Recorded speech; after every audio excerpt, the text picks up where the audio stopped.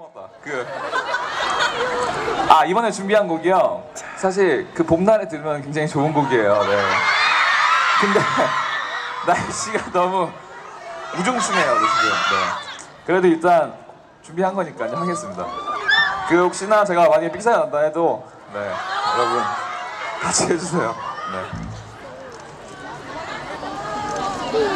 다음 곡 짝사랑 들려드릴게요.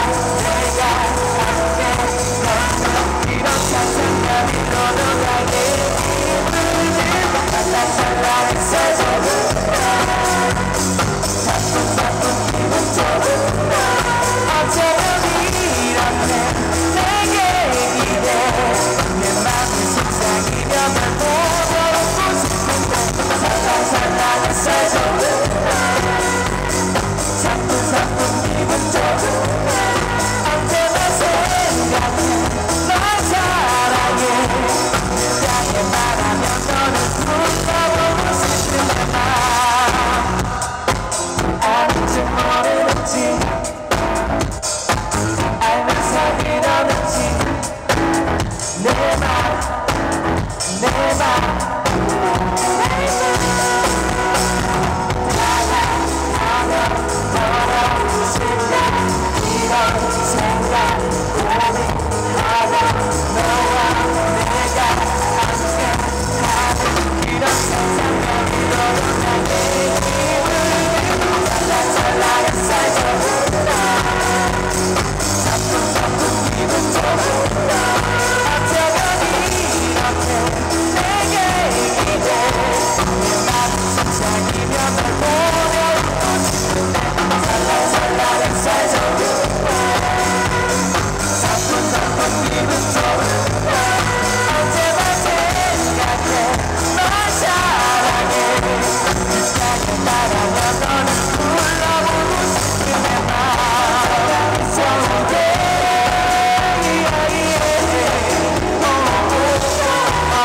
Sometimes I think I'm kidding, but I can't